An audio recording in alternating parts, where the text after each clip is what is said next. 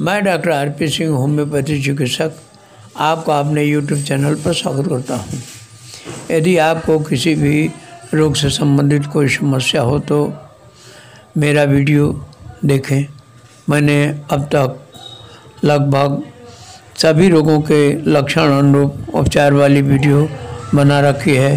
यदि आपको परामर्श लेना हो तो मेरे क्लिनिक पर आएँ। मैं आपको होम्योपैथी की दवा मायरिका के सिम्टम्स और यूजेस बताने जा रहा हूँ। इस औषधि का प्रयोग क्षेत्र यकृत श्लेष्मिक झिल्ली एवं यकृत के अन्य रोग हैं, जैसे कमला रोग, अनिद्रा रोग की यह अचूक औषधि मानी जाती है। प्रयोग के लिए संक्षिप्त लक्षण, मन का निराशा युक्त होना, उदासीन और शोकाकुल होना ओंघाई के साथ माथे में दर्द, माथे की त्वचा कसी मालूम दे माथे तथा चाँद पर दबाव, बच्चों में प्रायः जागने पर सीधी धीमी धीमी टिसन, नेत्रों का कौड़ी, पीली और दर्द।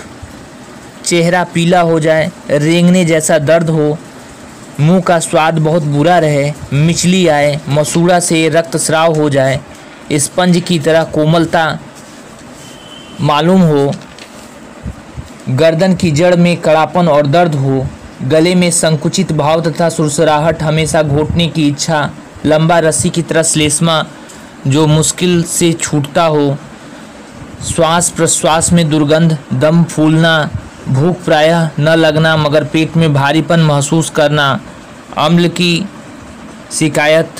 यकृत में धीमा दर्द, कमला रोग, पखाने की हाजत हो, किंतु जाने पर केवल हवा अधिक मात्रा में छूटे और पखाना न हो।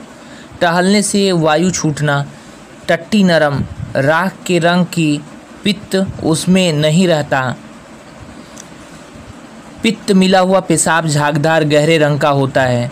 त्वचा में खुजली, कीड़े रेंगने की तरह अनुभव होना, त्वचा पीली, कमला रोग की तरह होना, खराश, स्वप्न देखने, सोते में और जाग जाए, अशांति बुरे स्वप्न देखने से नींद में बाधा आए। जागने पर कुछ देर तक नींद न आना बड़ी अशांति।